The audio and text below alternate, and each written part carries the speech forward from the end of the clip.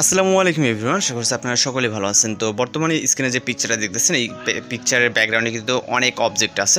তো এই অবজেক্টগুলো এক ক্লিকে কীভাবে রিমুভ করবেন, ঠিক এইভাবে এটা আজকে ভিডিওতে দেখাবো। জাস্ট এক ক্লিকের মাধ্যমে কিন্তু এই অবজেক্টগুলো অটোমেটিক্যালি রিমুভ হয়ে যাবে। সেটা যে কোনো পিকচারে এর জন্য সম্পূর্ণ ভিডিওটি কন্টিনিউ করতে থাকুন।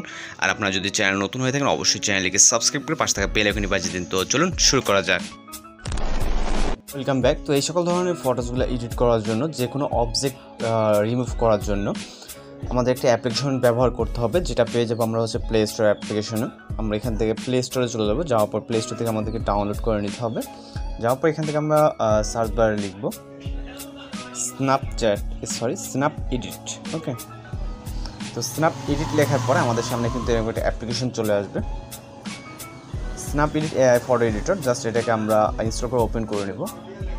জাস্ট প্লে স্টোর থেকে ইনস্টল করলে হবে ওকে এটার দ্বারা কিন্তু অনেক সুন্দর সুন্দর আপনি ফটো এডিট করে নেবেন। তো মূলত কাজ হচ্ছে আজকে আমাদের ব্যাক যেই ব্যাকগ্রাউন্ডে যে অবজেক্টগুলো থাকে, এগুলোকে রিমুভ করা।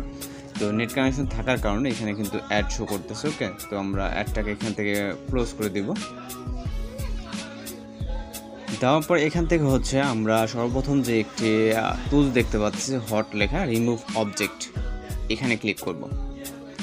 এইখানে ক্লিক করার পর আমরা একটি ফটোকে সিলেক্ট করব, যেখানে যার মাধ্যম, যার মধ্যে হচ্ছে অনেকগুলো অবজেক্ট থাকবে। সাপোজ এই পিকচারটা বলেন বা এই পিকচারটা বলেন। এখান থেকে আমাদের নেট কানেকশন যেহেতু দেওয়া ফ্রিতে ইউজ করতে যাব, এর জন্য কিছুটা অ্যাড একটু সহ্য করতে হবে। এখান থেকে আমরা অ্যাডটাকে ক্লোজ করে দিব। দেওয়ার পর এখান থেকে আমাদের যে পিকচারটা সিলেক্ট হয়ে যাওয়ার পরে আমাদের অবজেক্টে অর্থাৎ ব্যাকগ্রাউন্ডে কিন্তু বেশ কিছু আপনি ফটো দেখতে পাচ্ছেন, যেটা হচ্ছে ব্যাকগ্রাউন্ডে অবজেক্ট কিছু। তো এটাকে রিমুভ করার জন্য এখান থেকে অটো আয় অথবা ম্যানুয়াল আছে, আপনি যে কোনোভাবে এটাকে রিমুভ করতে পারেন, যেটা যেটা আপনার প্রয়োজন। তো আমরা সাপোজ অটো আইতে ক্লিক করব। অটো আইতে ক্লিক করলে দেখতে পাচ্ছেন আমাদের যে স্ক্যানে যে রিমুভ করতে হবে যে অবজেক্টগুলো সেগুলো অটোমেটিক্যালি ধরছে। আপনি চাইলে এখান থেকে ব্যাকপ্যাক পার্সন মানে কীভাবে কী করতে হবে, আপনার এখানে ম্যানুয়ালি করে নিতে পারবেন। দেন আমরা যদি জাস্ট রিমুভে ক্লিক করি রিমুভিং অবজেক্ট আমাদের অবজেক্টগুলো কিন্তু অনেক সুন্দরভাবে রিমুভ হয়ে গেছে। এবং আমরা যদি বিফোর অ্যান্ড আফটার দেখতে চাই, আগে এরকম, পরে এখন হচ্ছে এরকম ওকে যেমনটা আপনারা কিন্তু দেখতে পাচ্ছেন। দেন আমরা জাস্ট সেভ করতে চাইলে সেভ হাই কোয়ালিটি দিয়ে আমরা জাস্ট অ্যাড দেখে ফ্রিতে কিন্তু পিকচারটা ওয়াটারমার্ক ছাড়া সেভ করে নিতে পারব।